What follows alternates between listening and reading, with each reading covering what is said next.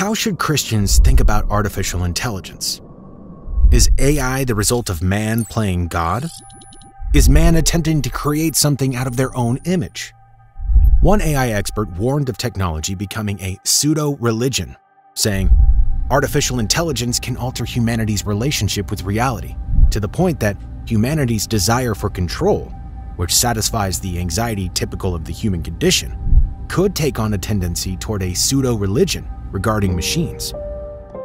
The theologian said that as machines become increasingly humanized, humans also become increasingly mechanized. Forbes recently published an article headlined Five AI Predictions for the Year 2030. Here are a couple of points that the article highlights. We will interact with a wide range of AIs in our daily lives, as naturally as we interact with other humans today.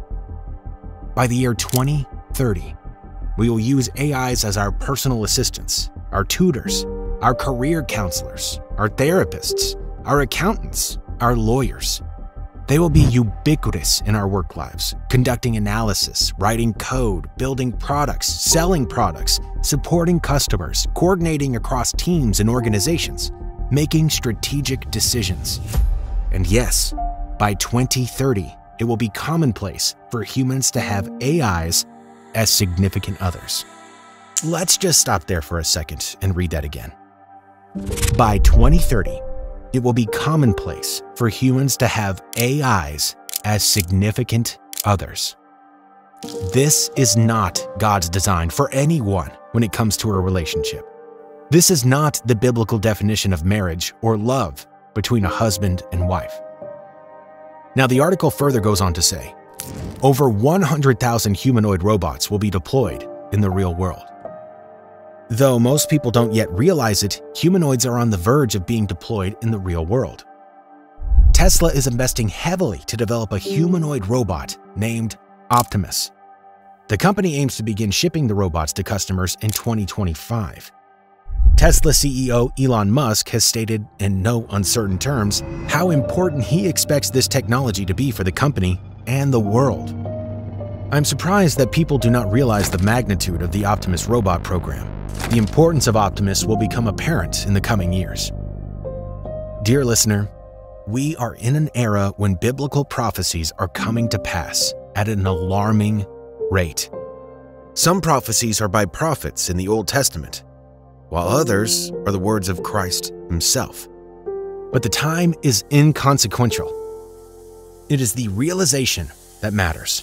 And right now, the most prominent biblical prophecy flying around is the increase in knowledge. Daniel 12, 4 says, But you, Daniel, roll up and seal the words of the scroll until the time of the end. Many will go here and there to increase knowledge. While you may think this verse talks about technology, generally that's not the first focus. The first thing is that men would become desperate to seek answers in the end time. They want to know more about themselves, the universe, and the Supreme Being without acknowledging the existence of God. This is the main root of technology.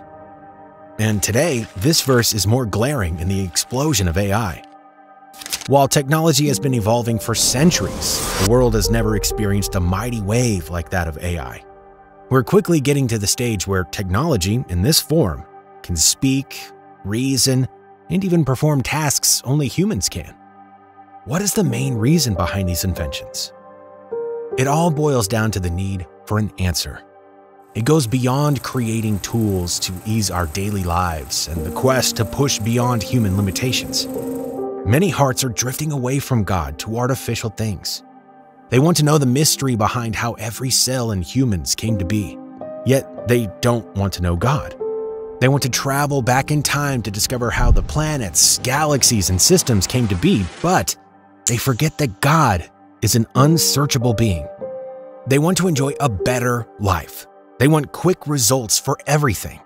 However, they no longer want to wait on God because He works with time. But is that the true way? Will AI replace God in our lives? Moreover, what are the dangers behind the AI technology? Is this part of the Antichrist's preparation for his rule? You need to remember that AI does not come to life itself. there are humans behind the creation of these humanoids. What's their main aim? According to researchers, they want to make them godlike. This simple statement looks like what Lucifer thought of before God cast him out of heaven. Consider the five I wills of Lucifer, as found in Isaiah chapter 14, verse 13 to 14. I will ascend into heaven. I will exalt my throne above the stars of God. I will sit also upon the mount of the congregation. I will ascend above the heights of the clouds.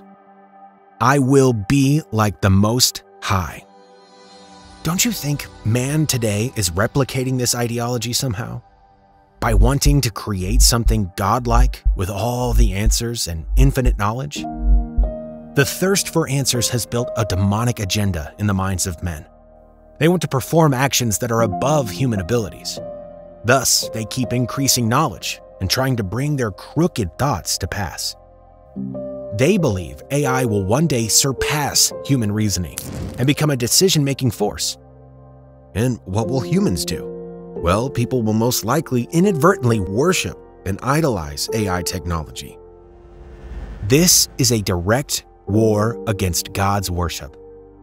One indirect effect of AI is that it becomes an idol to people, and many people will inadvertently worship the technology. And when I say worship, I don't mean in the traditional sense of bowing down and praying to it, but I mean they will become dependent on it. They will rely on it and trust in it more than they depend on the Bible or trust in the Word of God. In fact, You'll find people going to AI in order to understand the Bible as opposing to seeking the Holy Spirit so that He can bring understanding. Let's cast our minds back to the Tower of Babel in the book of Genesis. The people gathered after the flood and decided to build a tall building that would reach heaven. What was their aim? They wanted to speak with God directly. The Bible says that God saw their hearts and decided to change their language. They left the building site because confusion had entered their midst. The same might happen in our days. God is in heaven, looking at the creation of these machines. He might decide to end them suddenly. But wait, that won't happen so quickly. Why? The Antichrist has not started his reign. AI is part of his plans. How do I know? Revelation 13, verse 4 to 6 says, People worshipped the dragon because he had given authority to the beast. And they also worshipped the beast and asked, Who is like the beast? Who can wage war against it?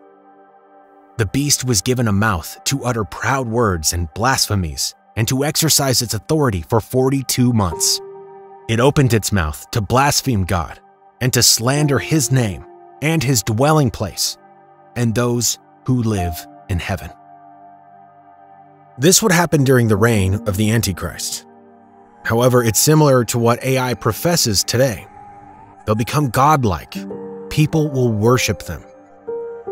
Aside from this, it's a very reasonable assumption that the Antichrist will most likely use AI to manipulate humans. Whoever wishes to buy or sell has to take the mark of the beast.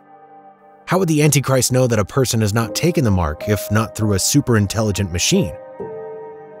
AI developers are already discussing microchips that can be inserted into the head. This would help us feel more lively and powerful. Are these not shadows of what the Antichrist would do during his reign? In a nutshell, there are huge similarities between AI and the activities of the Antichrist. Unfortunately, many believers have embraced this we must wake up to the fact that AI will never be the answer we seek. It will never lead to anything good. Instead, it will draw us away from God. Knowledge has increased, but it should not overrule God's existence in our lives.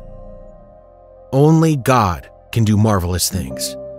Developers are still creating more AI, but these machines cannot perform some activities. First, AI cannot speak anything into existence. Only God can do this. He created heaven and earth in Genesis 1 1. But in Genesis 1 2, he declared light with his words. That's God in action. I've not seen an AI speak life to something. Only God can give peace, comfort, and guidance. While AI might be able to answer your prompts, it can't feed your emotions or the spiritual part of you. You can ask it how to get to a place, but it can't tell you if you will have an accident. This again shows its inability to predict the future, as many claim. When you feel down, AI can offer inspirational talk, but not ease off your stress or give you peace. Again, only God can do that. That's why going to the internet is an error when you should seek God. Don't make AI your God. God does not make mistakes. This is another fact that AI and its developers find difficult to swallow. People have attributed countless errors to AI. It can suddenly malfunction or even give wrong answers. But God will never fail. When He speaks, His words are yea and amen. He does not lie. Moreover, can AI perform miracles? You could ask AI to tell you how to open a blind eye. Let's see what it tells you. Well, maybe you receive some medical instructions. However, AI cannot heal cancer or any terminal diseases. AI cannot raise the dead or walk on water. Only Jesus can. AI can help you prepare your meals, but can't give you spiritual blessings. These are few instances in which you cannot compare God with AI. Developers claim that AI would be godlike, but that's impossible. Always remember that God fearfully and wonderfully made you. AI is just a machine. You shouldn't let it be at the center of your life. Developers call it the future of humanity. But what does the Bible say? Matthew 24, verse 35 says, Heaven and earth will pass away, but my words will never pass away. We should always remember this verse as we navigate this world. End time prophecies are coming to pass. This verse seems to end it all. Revelation 21, verse 1 also says, Then I saw a new heaven and a new earth. For the first heaven and the first earth had passed away, and there was no longer any sea. AI might be trending now. However, God's word will come to pass. He sees all these things, but will let them remain only for a time. Don't get caught up with these machines. They are preparations for the Antichrist's rule. No believer would want to partake in this. Therefore, fix your heart on God as we expect Christ's second return. Strive to be part of the new heaven and the new earth.